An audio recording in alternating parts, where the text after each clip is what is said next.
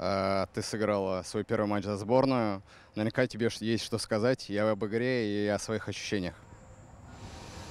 Ну, ощущение сложно передать, потому что я это очень долго ждала, и наконец-то сегодня это случилось. Я очень рада, что такое начало, и оно только положено. Я счастлива, правда. А Парагвай на самом деле очень э, такая боевитая команда. В последние минуты было очень тяжело против них играть. И у нас еще впереди второй матч. Будем разбирать. И надеюсь, еще следующую игру лучше сыграем. А, Первый тайм ты смотрел э, со стороны. э, Показалось, что первый тайм был достаточно уверенный, контролировали. И, в общем-то, за счет этого во втором, наверное, можно было себя ощущать поспокойнее.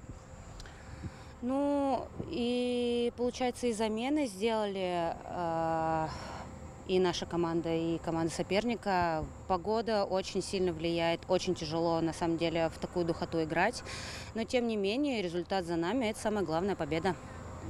А, Ну, сегодня играли в 7 часов, получается, игра началась. Э, До этого были тренировки, которые начались еще раньше, и было, получается, еще жарче. Ты можешь вообще с чем-то сравнить эти ощущения? Было ли у тебя что-то похожее в жизни?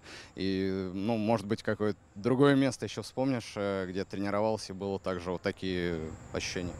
Да, мы только как раз с Валей Смирновой вспоминали, что когда мы играли э, одну восьмую финал Кубка э, в этом году в Краснодаре, мы играли в 4 часа дня, и была такая же духота примерно, но даже не такая же.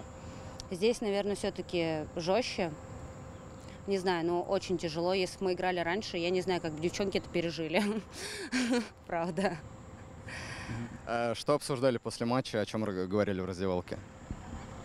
Честно, я пока что еще в шоке, я не могу отойти. Я думаю, ну, в, в своих мыслях анализирую, что я сделала правильно, что неправильно. А, все, мне кажется, просто еще устали, пока ничего такого не обсуждали. Впереди вторая игра. Что от нее ждать? Мне кажется, и соперник тоже будет разбирать нашу игру, э, стандартные положения их на самом деле могут им помочь в матче, но мы тоже будем их разбирать.